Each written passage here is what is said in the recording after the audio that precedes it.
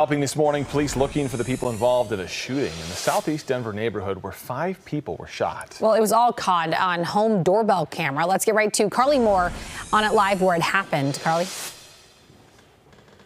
Good morning, guys. Yeah, this all happened shortly before 9 p.m. last night, right here off Girard and Dayton. You can see what's left of the crime tape out here at this apartment complex this morning. To give you some perspective, it's kind of near Hampden and Havana in the southeast Denver neighborhood. Now, a viewer's home surveillance video near the shooting scene captured more than 20 gunshots. You can hear them in the video with yelling afterwards. The timestamp shows 8:45 p.m. Let's take a listen.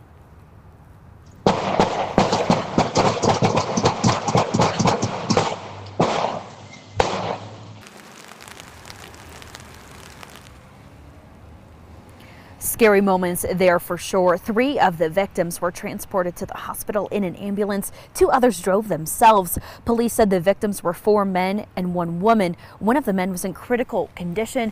Now, police have not said any arrests have been made just yet. They believe that might be the suspect is among some of those hurt. We'll keep you posted. Live in Denver, Carly Moore, Fox 31. All right, definitely keep us updated on that. Thank you, Carly.